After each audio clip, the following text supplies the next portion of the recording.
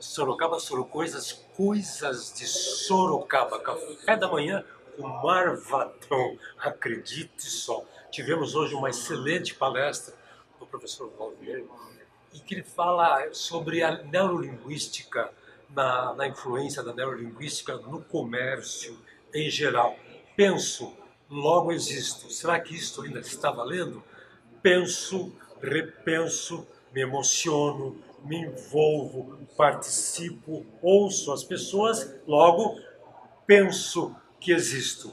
Ele falou muito sobre a emoção nas negociações, a emoção na relação do cliente com a loja, do cliente com os produtos, e a emoção continua presente no nosso comércio.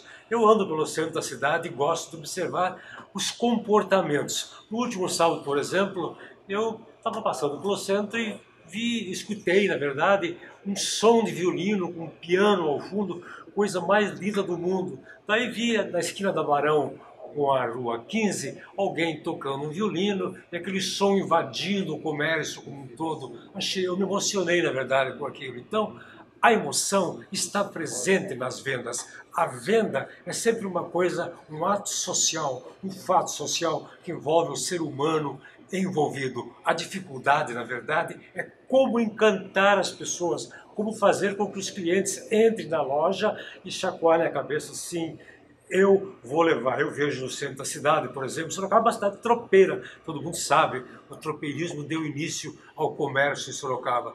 E eu vejo as pessoas, os atendentes tentando laçar pessoas nas ruas, fazer com que as pessoas entrem na loja. Obviamente, hoje em dia, os laços para pegar as pessoas, captar as pessoas, convencer, são muito mais amplos, muito mais requintados. Mas a velha e boa emoção continua valendo nas negociações. Sorocaba tem o hábito de ficar espingardeando. Isso é uma sorocoisa das boas. Espingardear é ficar vendo um preço aqui, outro preço ali, na verdade, só especulando, não comprando nada, só atrapalhando, só perturbando os vendedores. Tem uma outra coisa que é muito comum em Sorocaba, a gente fala para a pessoa, ah, está comprando? Não, comprando não, eu estou comprandinho.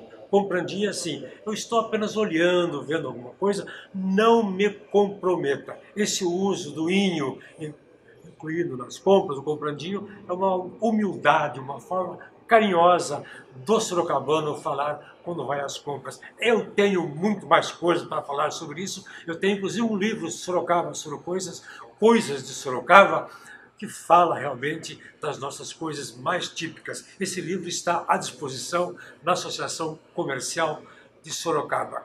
Então, em